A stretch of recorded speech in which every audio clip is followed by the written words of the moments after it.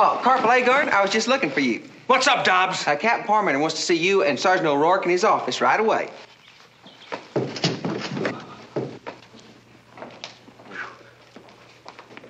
Just a little higher, Duffy. We want to make sure those horns are not at pants level. I know what you mean, sir. Sergeant O'Rourke, Corporal Agarn reporting as ordered, sir. Oh, at ease. Uh, you can put those down, Duffy. Yes, sir. Now, it has come to my attention that you men are not talking to each other. What seems to be the problem? Now, who'd tell you a thing like that, sir? I told the captain. You've got a loud bugle and a mouth to match. You can't talk to me like that, Agarn. He can talk to you any way he pleases. Now, wait a minute, men. The minute you hear something, you go running right to the captain.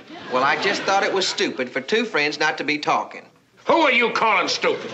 Well, I'll tell you one thing. I may be stupid, but I'm smart enough never to talk to you again. Yeah, that goes for me, too. Gentlemen, gentlemen, we can't have non commissioned officers not talking to each other and not talking to the men under them. Look, Agarn, no soldier ever has a good enough reason not to talk to his buddies. Captain Parmenter, Yes, Corporal. would you tell Private Duffy I just found a good reason never to talk to him again? I'm still talking to you, Duffy. Well, I ain't talking to no man who comes running to the captain over a little thing like this. Hi, Wilton.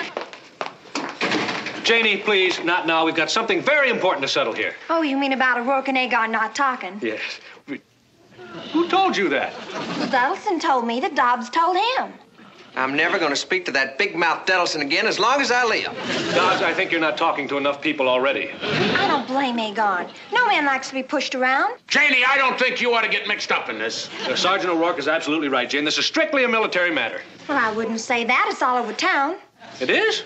Yes. Even Otter Snellheimer the butcher heard it from Hoffenmuller.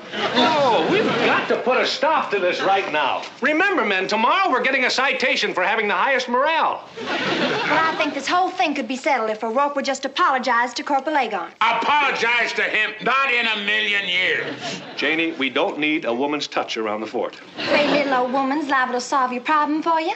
No, no, I'm not afraid of that because women only make problems. They don't solve them.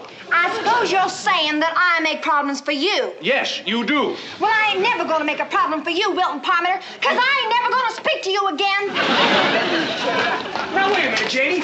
It ain't right for you two to get into a fight because of us.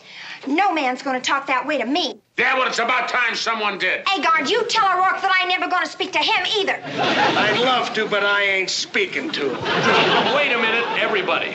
Now, we've got to settle this like intelligent, mature men. Tell Captain Parmenter that I'm a woman. Captain Parmenter, Janie says she's a woman. I know that. I know that. Now, I'm just going to sit here quietly while you all settle your differences. Janie, will you tell Sergeant O'Rourke if he's willing to apologize, I'll accept it. Well, I ain't talking to him. Duffy, you're talking to O'Rourke, ain't you? Yes, but I'm not talking to you. Oh, well. Wrangler, will you tell Duffy to tell O'Rourke if he's willing to apologize? I'll accept it. O'Rourke, Agarn says. All right.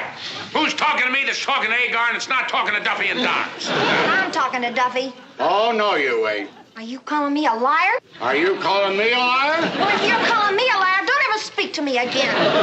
This is hopeless. Now, we're not going to get anywhere, so I'm just going to have to be firm.